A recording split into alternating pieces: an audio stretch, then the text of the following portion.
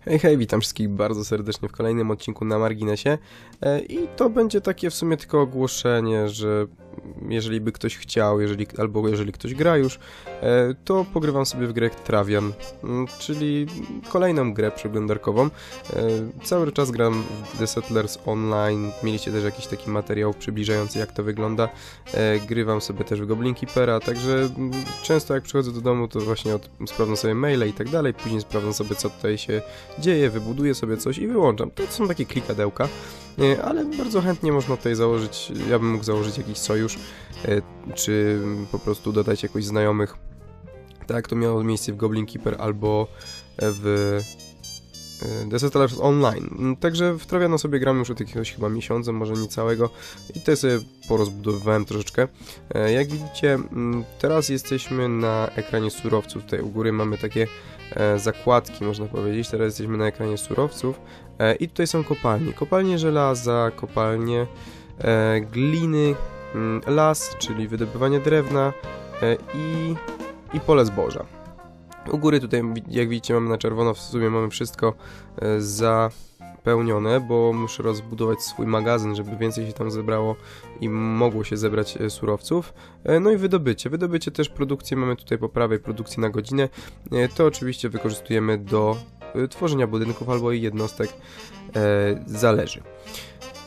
Tutaj jeszcze jest, z tego co pamiętam, produkcja zboża netto. Właśnie, dostępne zboże, czyli jak robimy jakiś budynek, dajmy na to, nie wiem, to bym chciał zrobić, no to tutaj to kosztuje tak jakby dwa E, tego zboża. Nie wiem jak to wytłumaczyć, po prostu jeżeli bym chciał teraz rozbudować na piąty poziom, to mi zabierze stąd dwa i jeżeli to dojdzie do zera, no to e, za mało zboża jest produkowane, musiałbym e, zrobić upgrade pola zboża na kolejny poziom.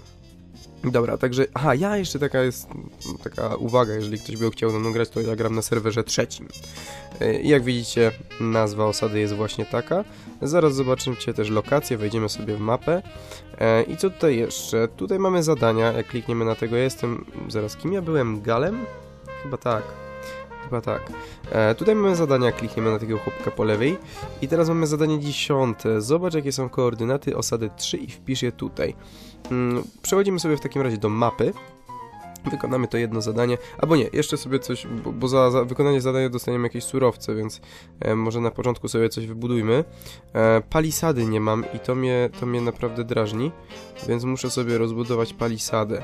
E, miałem ją na poziomie, tak, tutaj już niektóre, bu niektórych budynków nie mogę rozbudowywać, na przykład tych pól, dlatego że najpierw muszę zbudować magazyn. Bo jak widzicie, rozbudowa na kolejny poziom wymaga 109, 1950 gliny, a ja maksymalnie mogę pomieścić 1200. E, I te budynki sobie wszystkie buduję aż do e, momentu, kiedy mi napisze, że potrzebny jest magazyn e, i wtedy dopiero sobie buduję ten magazyn. Jeszcze taka jedna rzecz, bo na początku zaczęli mnie atakować gdzieś inni gracze, to sobie ja sprytny stwierdziłem, że zrobię kryjówkę. W kryjówce chowane są surowce, odpowiednia ilość surowców jest chowana w kryjówce i wtedy jak jest jakiś najazd, to oni tych surowców nie mogą zabrać.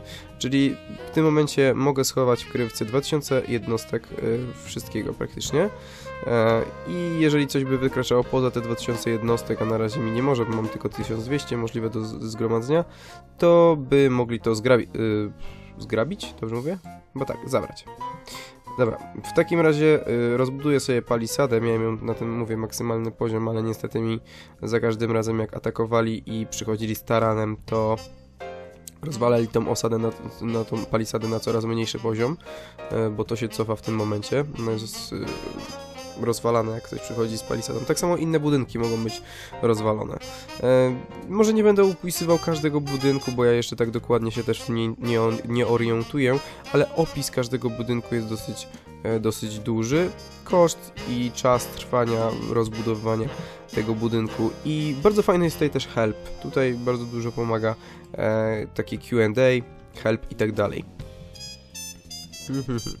Dobra, na razie tutaj sobie już więcej nic nie będziemy budować. E, zobaczmy sobie w takim razie na tą mapę i koordynaty osady e, trzeciej. Osada 3 jest tu minus 76 i 163. Hmm, a ja mam swoją osadę minus 176, 160 graczy między czterostokami, ludność dwa- y, 221, sojusz naród Galowie, o widzicie, Galowie. E, możemy atakować też na inne, jak widzicie, osady. Jakby ktoś powiedział, to jest taki, takie, takie plemiona, tak? Tylko, że podobno plemiona są lepsze. No nie wiem, ja sobie w to gram. Yy, dobra, jak to było? Minus 76, 163. 76, 163. Minus 76 i 163. Dobrze wpiszę? Odbierz nagrodę. No i widzicie, to jest nasza nagroda. Cyku. Zebrane. Zadanie 11. Zmień bohaterowi bonus do produkcji surowców. Eee, ustawienia bohatera. Ok. W takim razie tutaj mapę już widzieliście, można sobie oddalać i tak dalej. 50% możemy widzieć. A możemy widzieć nawet i 8%. To będzie już masakra. Śmiesznie to wygląda, nie? Tu jest możliwość inna niż minimapa? Wow, a co tu jest w środku? Aż sobie przybliżę. O kurde, jakie re rejony dziwne. Masakra, aż, aż się można wystraszyć. Dobra, mniejsza z tym. E, statystyki, no... Statystyki, no jestem na takim miejscu, więc troszeczkę nisko. Sojusze... Wszystkiego nie będę opisywał, bo, bo mówię, dokładnie nie chcę też nikogo okłamać, być może ktoś w to gra, więc będzie mnie złocił, że nie wszystko umiem. E, aha, naszą, e, naszą nazwę osady można tutaj zmienić klikając dwa, la, dwa razy w to miejsce. Klik, klik i jest. Dobra, e, jedną osadę mam na razie zajętą, więc nie ma między czym się tutaj przemieszczać. I tu jest nasz bohater. Ja sobie utworzyłem taką księżniczkę. Ona tak wygląda. E, I tak, w, tej, w tym momencie bohater jest w osadzie MR stokami. E, prędkość 19 pol na godzinę. I produkcja bohatera 12 e, właśnie takich, ja nie wiem, zasobów jedzenia, coś takiego. I muszę zmienić teraz, żeby wykonać zadanie mm, na inną produkcję. Na przykład dajmy sobie produkcję czego? Produkcję drewna. Tutaj jeszcze możemy ukrywać bohatera, kiedy osada jest atakowana, żeby on nie odniósł zbyt dużych strat. No na razie nie mam jednostek, więc, więc sobie go będę ukrywał. Zapiszmy zmiany. Supa. Odbieramy nasz hajs. Dawać. I co mamy teraz? Yy... Przeczytaj raport z podjętego wyzwania. A to już zrobiłem, bo wcześniej wyzwanie podjąłem i ten i, i, i, przeczytałem ten, i przeczytałem ten raport. Co mamy następne? Drugie wyzwanie. Wyślij bohatera, by podjąć jeszcze jedno wyzwanie. Hmm. No cóż, dobra, wyzwania. Gdzie są wyzwania? Tutaj jest wygląd naszej postaci. Ja mam płeć oczywiście. Oczywiście. Znaczy, no zazwyczaj tworzę kobietę w tych grach, żeby było troszeczkę inaczej, żeby było na to, można powiedzieć, popatrzeć, a nie jakiegoś wąsatego gościa. E, możemy zmieniać głowę. No, nie jest tutaj dużo jakichś e, tych możliwości z edycji naszego bohatera, no ale jednak, jeżeli komuś to pasuje, to może sobie tutaj poklikać. E, wyzwania. Możemy podjąć kolejne wyzwanie i tak, pozostały czas do trwania tego wyzwania, yy, do końca tego wyzwania i czas trwania tego wyzwania, no właśnie.